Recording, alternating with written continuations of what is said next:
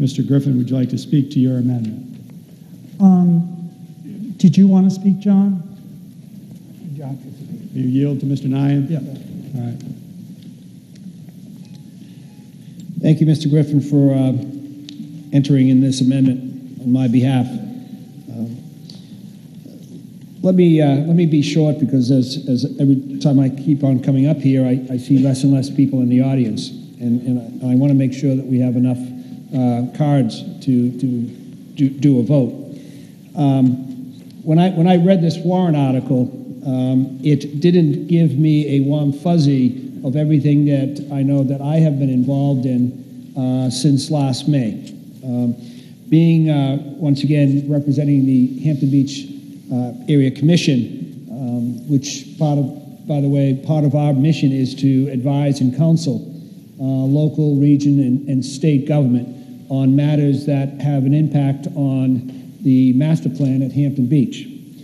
In this area, um, I have been involved both directly and indirectly with working with the Board of Selectmen, town manager, and the Department of uh, Transportation here in the United, uh, here in uh, New Hampshire.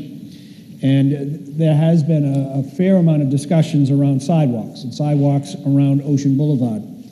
The reason for this amendment, ladies and gentlemen, is that it is, in my opinion, and the opinion of being involved in, in this uh, from the very beginning, that the, the words that were used in this uh, original warrant was incorrect. And I, I refer to the words construct and reconstruct. It has been my impression from the very beginning since last May when we were talking about the A block, the block down at the beach that was destroyed by fire.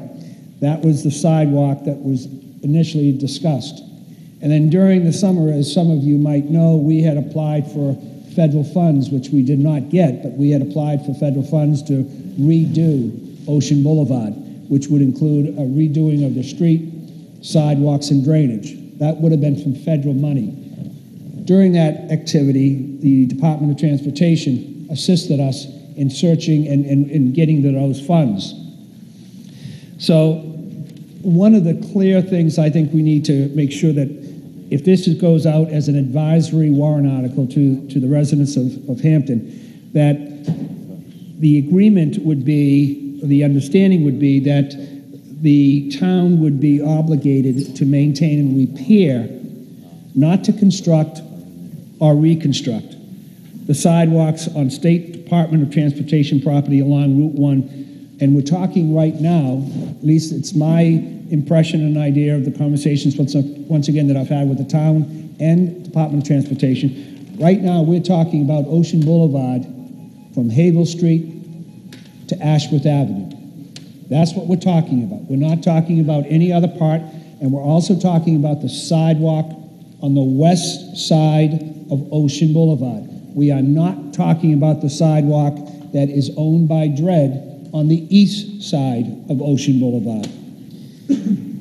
It's important that people understand that if we are to complete some of our initiatives down at the beach and to follow our recommendations made by the master plan, that we continue to work in cooperation with not only the town, the region, but also the state and all state agencies and also the federal government.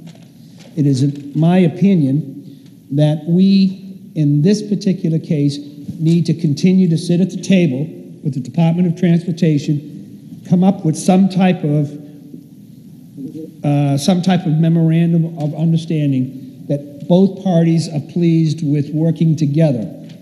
I can assure you, ladies and gentlemen, in my direct efforts of working with the Department of Transportation, they have been a godsend to this community with regard to putting us in front of possible federal grants.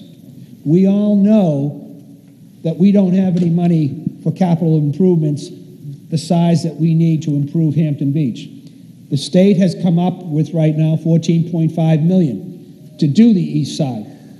So all I'm asking is that this amendment be approved. I'm appealing to the people that are still here at 3 o'clock in the afternoon. I'm appealing to you all that this amendment clarifies and I think would give the voters out there that are not here today a better understanding of what this memorandum of understanding would be. Thank you, Mr. Moderator. Thank you, Mr. Nyhan.